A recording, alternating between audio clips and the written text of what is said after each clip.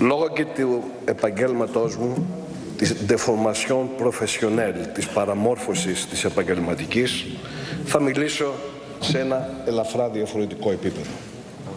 Θα σας μιλήσω για τις αξιακές δεσμεύσεις που βρίσκονται πίσω από τις προγραμματικές δηλώσεις, από τις υποσχέσεις που κάνει αυτή η κυβέρνηση, αλλά και η ριζοσπαστική αριστερά του 21ου αιώνα προς τον ελληνικό λαό, τους Έλληνες πολίτες.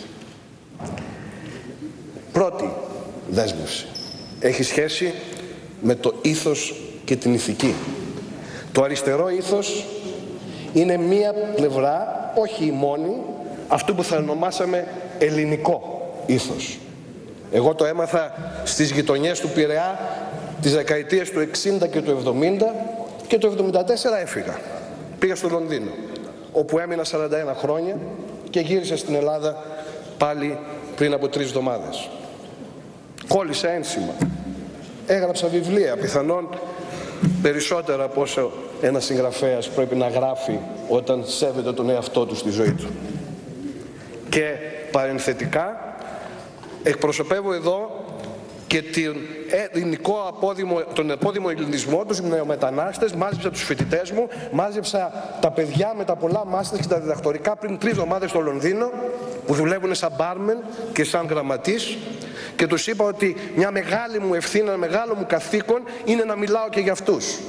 Και όχι μόνο να θρυνούμε το brain drain, αλλά να παίρνουμε και μέτρα όπως άκουσα πριν, για να το αλλάξουμε. Ο απόδημος ελληνισμός είναι ένα αναπόσπαστο οργανικό κομμάτι του ελληνικού κοινωνικού ιστού.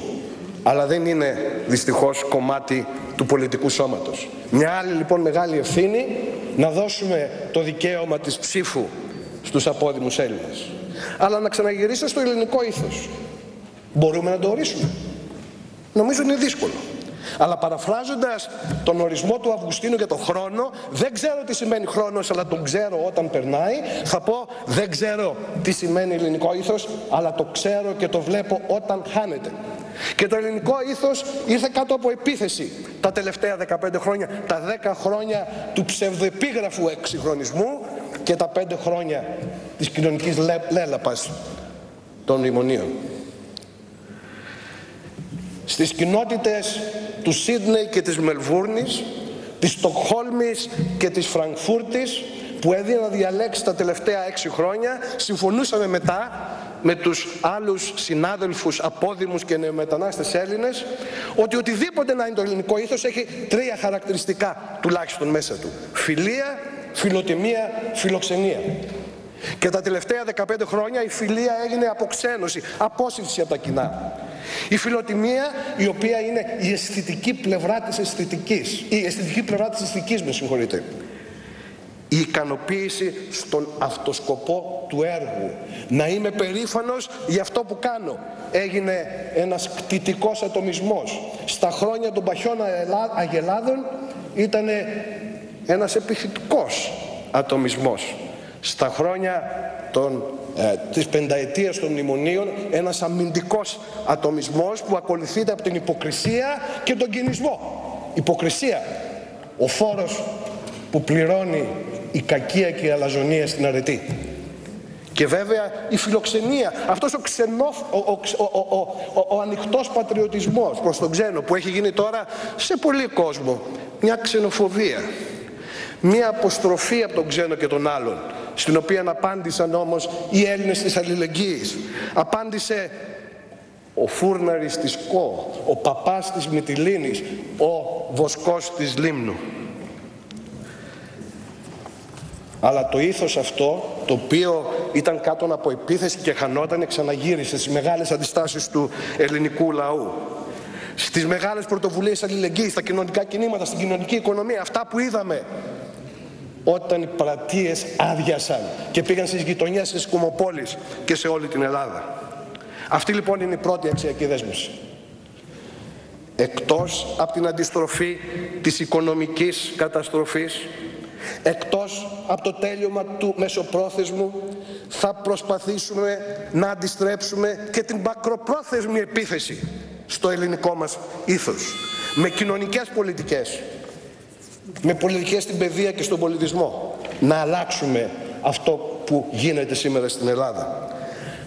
Εχθές μας είπε ο πρόεδρός μας ο Νίκος ότι είμαστε ένας ναός της δημοκρατίας. Αλλά τι σημαίνει δημοκρατία; Είναι το κράτος του Δήμου, είναι η δύναμη του λαού. Και όπως λέει ο Πλάτωνας, δημοκρατία είναι το πολίτευμα στο οποίο δεν διοικούν αυτοί που έχουν λεφτά, αυτοί που έχουν γνώση, σήμερα πτυχία ή αυτοί που είναι ηλικιωμένοι και κατά τεκμήριο πιο φρόνιμοι. Διοικούν αυτοί που δεν έχουν κανένα ιδιαίτερο προσόν για να διοικούν. Οι όλοι και ο καθένας. Και αυτό χάθηκε. Και αυτή είναι η δεύτερη δέσμευση που κάνουμε με τις προγραμματικές μας δηλώσεις.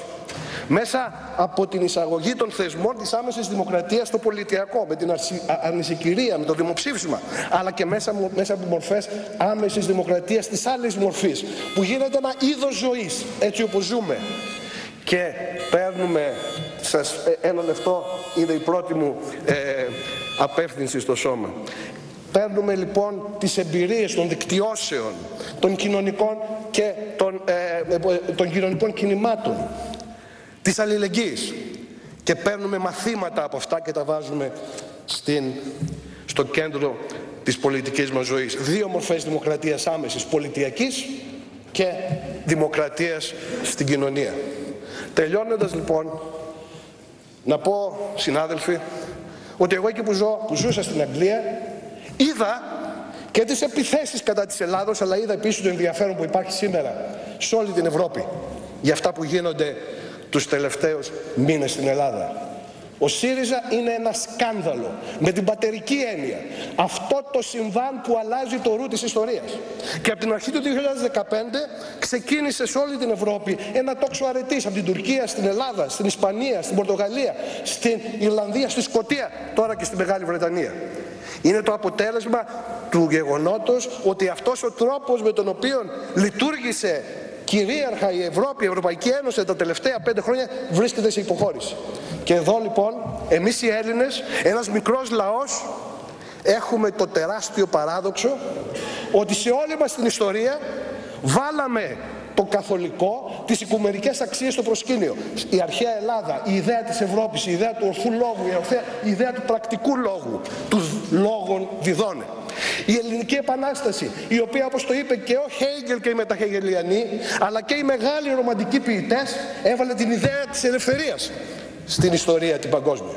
Και τώρα το σκάνδαλο του ΣΥΡΙΖΑ, που βάζει, ο ξεκινάει μάλλον να βάζει, το τέλος στο τέλος της ιστορίας. Την επανεκκίνηση της ιστορίας. Και έχουμε μια τεράστια ευθύνη εμείς κυρίως του ΣΥΡΙΖΑ.